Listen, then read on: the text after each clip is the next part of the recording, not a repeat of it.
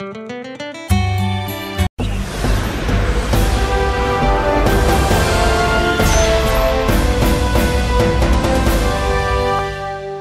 और आप देखें पल पल।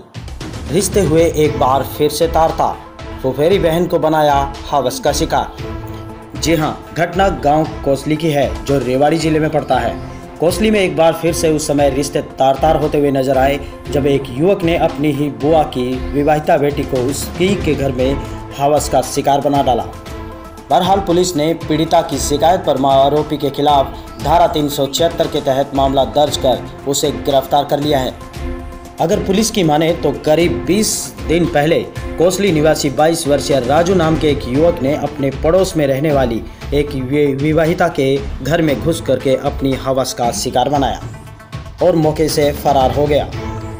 उस समय पीड़िता ने रिश्तों की मर्यादा को देखते हुए पुलिस को शिकायत नहीं दी, क्योंकि पीड़िता रिश्ते में उसकी बहन लगती है। लेकिन जब दोबारा आरोपी ने उसके साथ ऐसी हरकत करने की कोशिश की तो पीड़िता ने सब का बाँध तोड़ डाला और उसने पुलिस को शिकायत दे दी। जिस पर त्वरित कार्रवाई करते हुए उसे गिरफ़्तार कर लिया गया। अब पुलिस ने आगे की कार्रवाई शुरू कर दी है। आपको बता दें कि आरोपी हाल ही में एक आपराधिक मामले में जमानत पर जेल के बाहर आया हुआ था। आप देख रहे हैं पल पल रेवाड़ी से महेंद्र भारती की विशेष रिपोर्ट। कल जो एक महिला क्षेत्र में रहती है, उनकी तरफ़ से हमारी महिला अधिकारी के सामने एक शिकायत पेश की गई कि उसके साथ बीस पच्चीस दिन पहले गलत काम किया गया था, जो इस संबंध में तुरंत अभियोग दर्ज किया जा चुका है और आरोपी को तुरंत ही गिरफ़्तार कर लिया गया है।